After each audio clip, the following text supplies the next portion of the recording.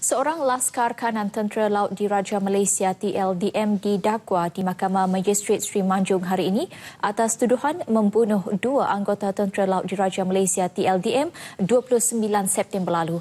Muhammad Izri Fikri Rosli, 29 tahun bagaimanapun mengaku tidak bersalah sejurus pertuduhan dibacakan di hadapan Magistrate Nur Syakira Ibrahim.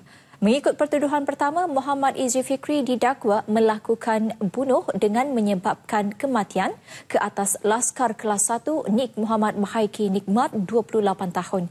Kesalahan itu dilakukan di Padang Latihan Unit Sungai Wangi 29 September lalu antara jam 10.30 pagi hingga 3.20 petang. Bagi pertuduhan kedua, dia dituduh melakukan bunuh dengan menyebabkan kematian ke atas Laskar Kelas 1 Muhammad Lailatul Man Muhammad Sukri, 26 tahun, pada masa dan lokasi yang sama. Sebutan semula kes ditetapkan 12 Disember dan disiasat mengikut Seksyen 302 Kanun Keseksaan.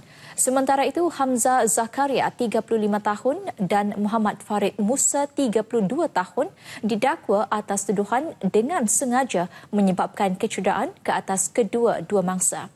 Hamza melakukan kesalahan itu di laluan hadapan bilik tahanan unit TLDM Sungai Wangi Sitiawan pada pukul 10.30 pagi 29 September lalu.